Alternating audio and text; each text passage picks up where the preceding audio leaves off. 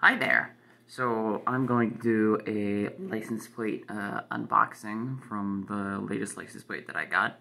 But I did record one earlier this month, or at least I thought I recorded one, and turns out it wasn't recording. So the unboxing is simply me revealing the license plate, which is...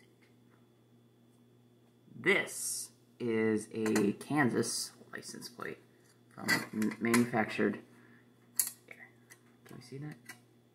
This was manufactured in 1951, and I've always had my, I had, not always, more recently, I, uh, when I got into the whole collecting of license plates, uh, this caught my eye because of the uniqueness behind it. So, in, they manufactured this in 1951, and then they, the Korean War was going on, so they were rationing metal, like for the war effort. So they basically came out with these little tabs and they would put them, affix them up here, and they would use that to denote the new year. So this 1951 plate then became the 1952 plate, and then became the 1953 plate, and then the war ended, and then they eventually came out with the 1954. Um, the WS is for Washington, and uh, I think it's Washington County, and if I remember looking at the map, I think it's somewhere right around there as far as, I think it's like 70 miles north of I-70, which cuts across the state. Um, so yeah, I'm very ha happy that I have this to my collection now. I uh, haven't figured figured out how, where to put these these little things. I mean, it does cover up Kansas, but you know, I guess it's just something unique. I guess to you know be a conversation starter. Now, this one, I didn't film opening yet, so let's do that. Uh, let's see here. Gotta be careful. I'll cut your hands. Oof. I remember seeing this license plate in on a couple classic cars, and more recently in the Martin Scorsese film, The Irishman. And I thought, yeah, that's a pretty cool, cool looking plate.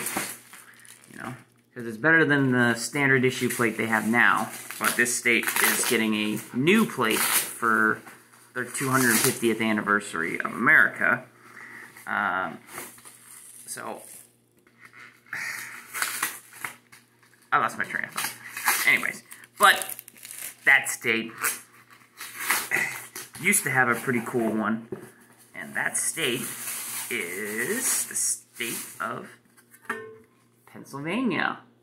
This is the 1976 bicentennial Pennsylvania license plate. It's got the Liberty Bell, and I've got the registration stickers of 75 and 76. So I think this plate was made in 19...